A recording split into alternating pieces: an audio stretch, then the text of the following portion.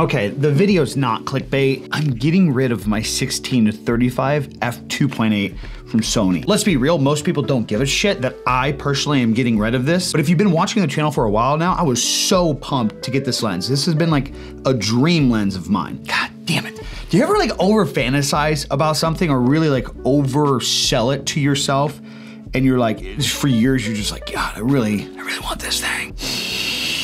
Okay, some of you were right. This was, it was way overkill. There's just like no need. I don't know, it's such a great lens. It's so badass. Maybe if I had like hundreds of thousands of subscribers and like every day, like I was just making content for one channel. But for what I do, this lens is amazing. It looks great, but for the size and like how much more money it is versus other options. And the whole like f2.8, I'm over it. I don't need it. I'm so sad that Bahama Mama is going, I don't know why, but G Fuel's gonna stop making it. Also, before we go pick up the new lens, come on, who are you kidding? And look at this. These are the shoes that I showed you guys last week that I wanted to get. And some of you shitters, including Megan, said that these look exactly the same. These are practically the same shoe. In what world are we living in where they look the same? I mean, yeah, they both look like a shoe. Okay, Jesus Christ. I'm gonna put these on and go, uh, go pick up the new lens.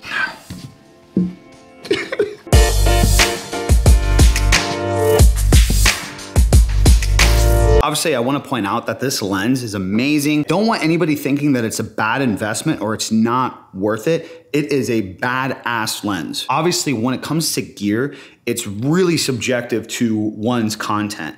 And I just, I don't think that I need to have the weight of this, the size of this, and honestly just be sitting on the price of this lens when I can go get something else that will get the job done for me.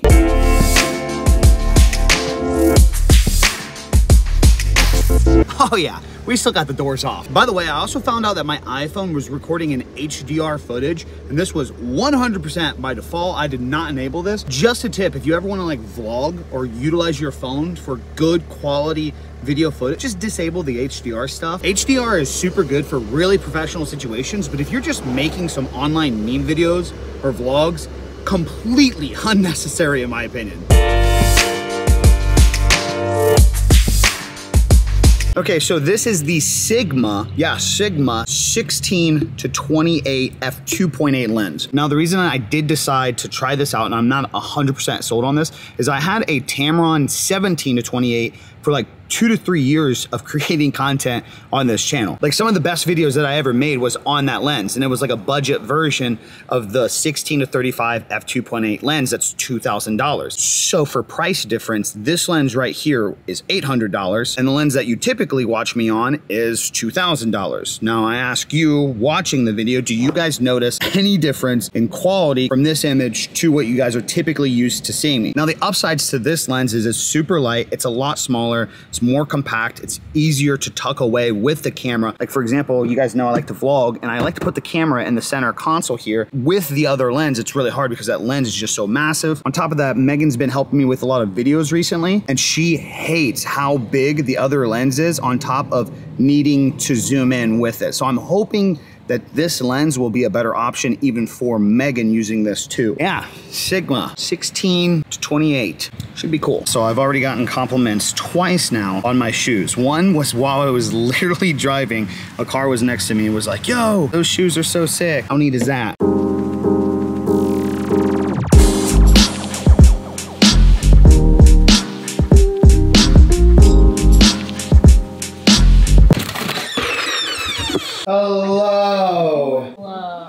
Feeling? I just feel mentally drained.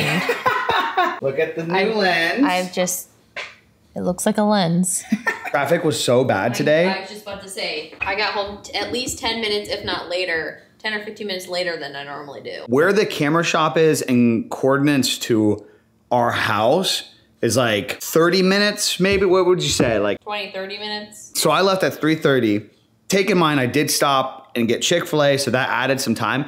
But I left at 3:30 at this place, and it is 5:10 right now. It took me two hours nearly to do something that typically takes 40 minutes at most. It's that Friday traffic.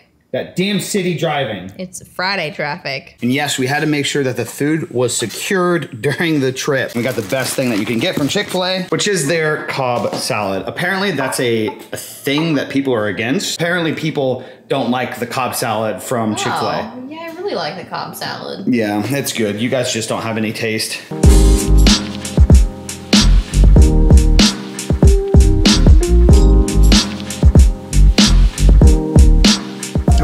So just for size comparison, this is actually insane. So this is the 16 to 35 that I've been using. And as you see, when you do a zoom with this, it will actually extend larger than what it is. And this is the new 16 to 28 Sigma that I just got. Sometimes, gentlemen, bigger is not the answer.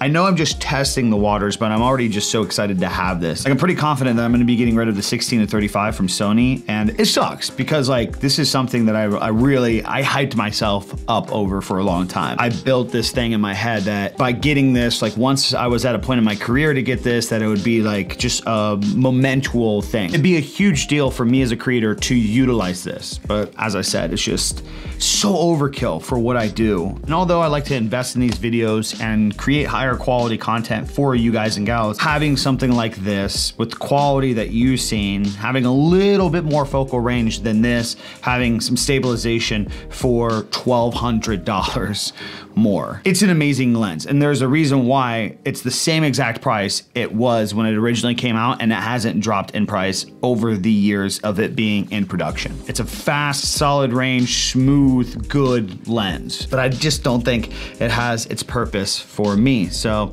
that's why I'm looking at something a little bit more compact. So I'm gonna be trying the 16 to 28 from Sigma for a little bit. And then also, if I'm not really a big fan of this, if I have any problems with autofocus or color, I don't know. I'm not really anal. Sorry, gentlemen. about cameras. So I think this is gonna do the job. I think I'm gonna enjoy this, but who knows?